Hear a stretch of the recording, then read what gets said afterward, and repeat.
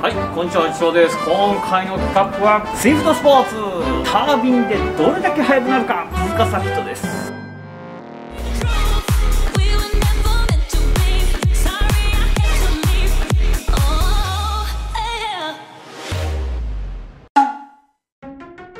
前回は、コンピュータチューニング。これだけやって、タービンノーマルで鈴鹿を走りました。うんただね、ちょっと、ラップタイムがね、どうもね、これ、美浜は速いんだよ、とっても。だけど、美浜のラップタイムから比較すると、なぜか鈴鹿が全然タイム出てない。ちょっとまだ原因不明なんですよ、ほら、なぜか。多分ね、これがダメかもしれない。このフロント235っていうね、単語太すぎる。このサーキットでは太すぎる？あの例えば美浜サーキットで46秒台つまりこれよりも2秒遅いフィットとそんな変わらないですよ、まあ、フィット速いよ。フィット速いよ。もう40秒切ってるし速いんだけどそれよりもタイム出てないっていうのはちょっとね。だから、まあ、今回はラップタイムっていうよりも単純にストレートの差だけ見ようかなと。うんうんうん。そうしたら分かるよねなるほど。あの不調な時もあるんですよ僕。悪い時でも分かるのはストレートだよ。で今回ストレートで比較できるようにこれつけてます。前回もこれつけてます。データ用がつけてます。はいこれで比較してみたいと思います。はい。はいそして今回どんなタービンがついてるかっていうと純正形状なんです。外から見たらタービン変えてるかどうかが分かんないんですねなるほど。純正と全く同じなんです、中身がちょっと変えてあるだけ。だからまあ極端な話大きなタービンもうビッグタービン変えてるようなドカーンみたいなんではないんですね、まあ、その分お手軽。ポン付け。ライトチューン。そういう感覚です。まあもちろん ECU の書き換えとセットです。タービン用のセッティングもやるそうです。はい。こんな感じになってます。はいいつもの。買ってきましたよ。ここのサーキットの自販機で買った。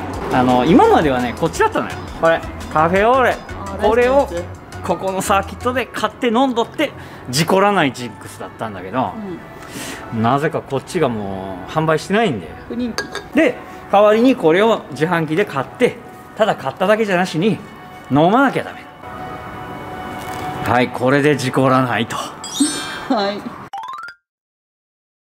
はいいじゃあ行ってきます。お願いします。いってらっしゃい。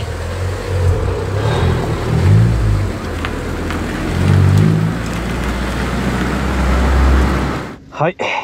さあ久しぶりの鈴鹿サーキットスイフト。これもう実に半年ぶりかな。まずは完熟走行。完熟走行っていうのはサーキットこう走るときに、まあ、やっぱり路面状況だったり自分のこの車のこの、まあ、状況だったりっていうのを再確認するそういう走行なんですねよしはい、スタート。まずはこのね、フィット。このマーシャルカーの後ろを走って、コースの下見。後ろはマクラーレンと GTR ニスモ。やばいね、ほん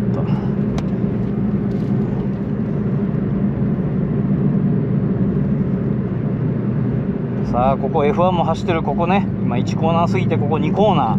2コーナーは奥がきついんですね。でここ立ち上がってからの ASG S みたいになってるでしょ。そういうここがここれほら S みたいな。これで S 字カーブと言います。はいこの後ですね逆バンクっていうコーナーに差し掛かります。はいあのー通常バンクがついてるんですけどここはほぼフラットなんフラットなんですね。フラットだからちょっとやっぱり逆にバンクがついてるように錯覚に思えるっていう。そしてここはダンロップコーナー。ダンロップ昔ここダンロップのアーチがありました。もう今はありませんけど。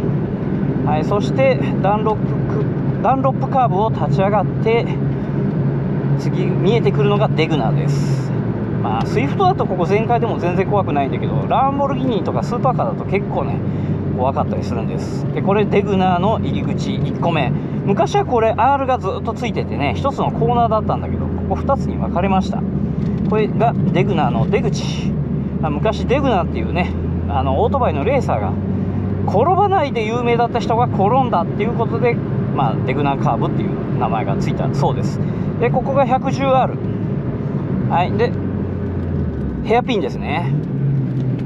はい、ヘアピンカーブを立ち上がって、まあ、ヘアピンはね、まあ、本当ヘアピンと同じような形してるからということで。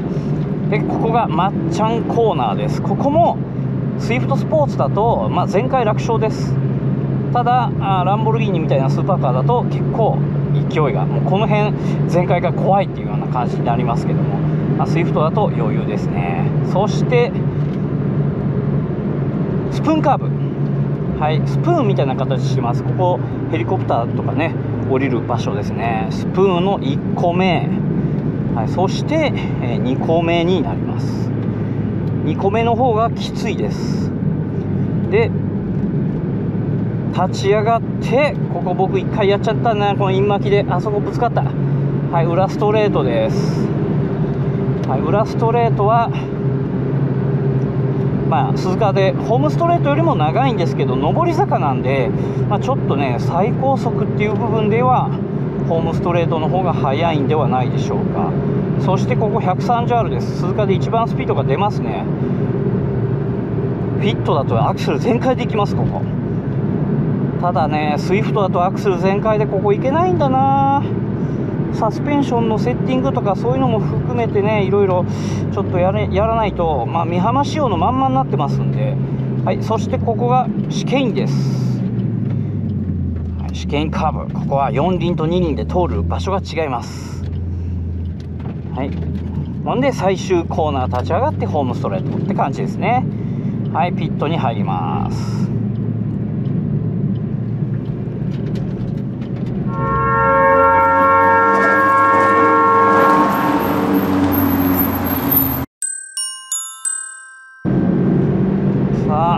ですよ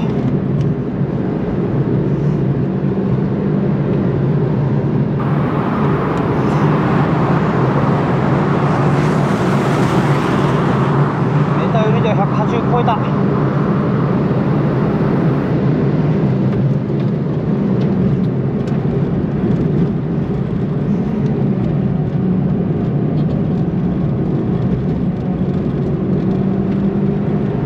おーなんか走るとなんかおー曲がる。仮にどこで急にスリップするかわかんない。まあ多分大丈夫なんだろうと思うけど。まあスイフトの場合はねここは本当に全開全開で走っても全然怖くないんだよね。あー 130R がスピード落ちすぎるな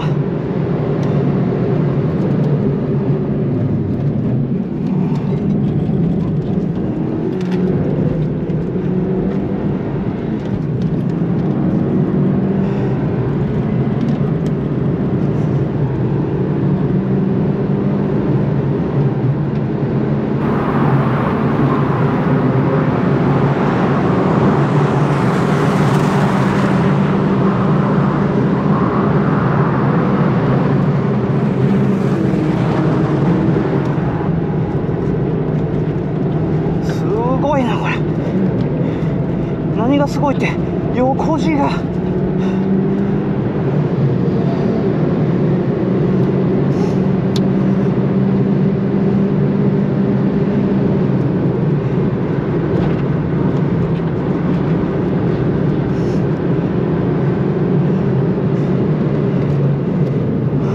コーナーではスイフト速いんですよ。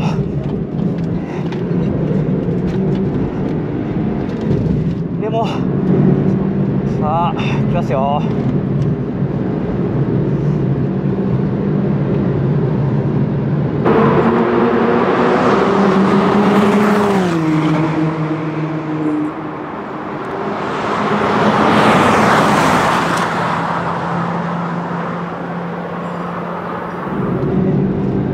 お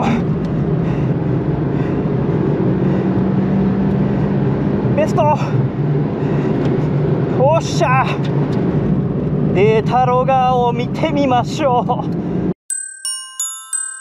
はいえー、っとですね赤が今回。前回が青です。まああのイコールのねあれじゃないんですよ。本来だったら今日ここでタービンを変えてっていうのが一番いい。ところがこれをお願いしたんだけどやっぱりその時間的に無理だと。そこの場所でその場で交換っていうのがなかなかあの難しいということで、えー日にちをずらしてきました。だからあくまで参考までっていうところを条件にあの見ていただければと思います。正確な差ではありません。あらかじめ言っときます。ただ参考までにって言ったってまあこれ見てこれ。トップスピード1 0キロも違う。タービン交換した時は197キロ。タービン交換しない時は187キロ。いくら同じ日でないとはいえ10キロの差はなかなかなかなかこんな差は出ないんではないでしょうか。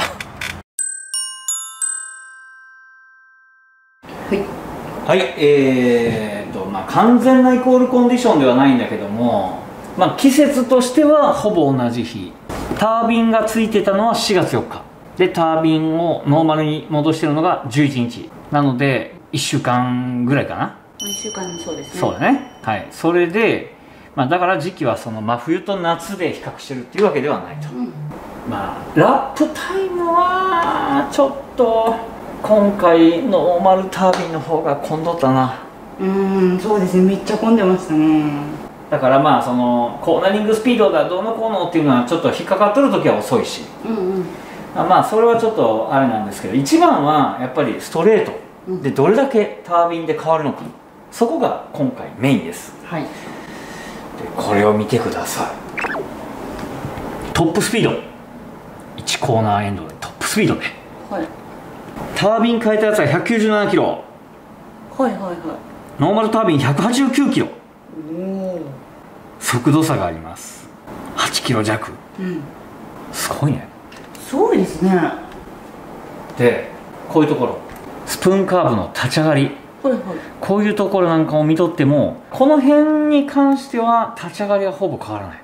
これねこのカーブのこのほらもうつながってほぼ一緒、うん。重なってる、うん、タービン付きが133キロに対してノーマルタービンで133キロ。ほぼほぼ。ほぼほぼ一緒。ところが、これこそうこっからがこっからが分かれるよ。すごい差が。155キロぐらいからのこの差うん最終的には130ある手前で189キロ。9.97まあ100 190だよね、うん。それに対して134キロ。6キロ違う。裏ストレートで。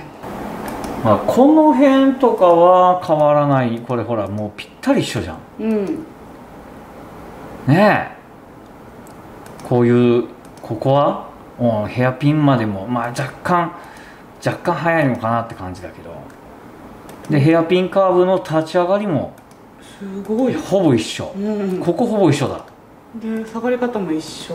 うん。でここも一緒。一緒。ここがちょっと違うけど、この分かれ方すごいな。がすごい。タービンまたつけようかな。これ悩んじゃうね。一つね。あまたつけるんじゃなくてもう一台作ればいいんじゃもうあ鈴鹿スペシャル鈴鹿用とだって美美浜用とも楽しく走りたいから。ちょっとセッティングが随分違うんですよ。足回りから排気からタイヤサイズまで。うん。なのでちょっとね鈴鹿スペシャル作るまでもう一台スイフトいるよ？そうなんです。わお